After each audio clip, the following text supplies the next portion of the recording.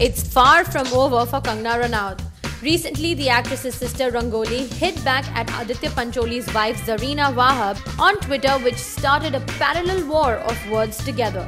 Reacting on the same, Aditya Pancholi's wife Zarina Wahab told Spotboy.com that she wants to challenge Kangna to take a lie detector test and also told the media that her claims are nothing but lies and she never said that she is like her daughter because she was aware of the affair between Kangna and Aditya Pancholi. Coming back to Rangoli, Kangna's sister got infuriated with Zarina's statement and she took to Twitter and hit back.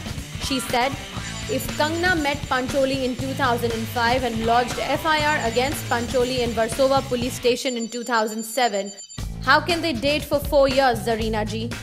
Sana Pancholi is born in 1985. Kangna Ranaut is born in 1987. Do you have shame? You are part of this exploitation of girl younger than your own daughter?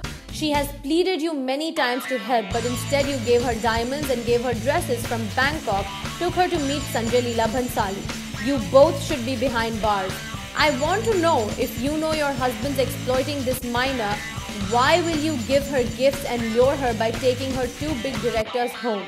Why would you give Kangna diamonds and clothes from Bangkok and request her not to go to the cops if you knew your husband is dating her as claimed by you?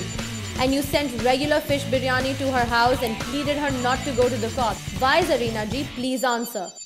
Zarina also told Spotboy.com, Kangna has achieved good success and dignity. She should control herself and conduct herself better.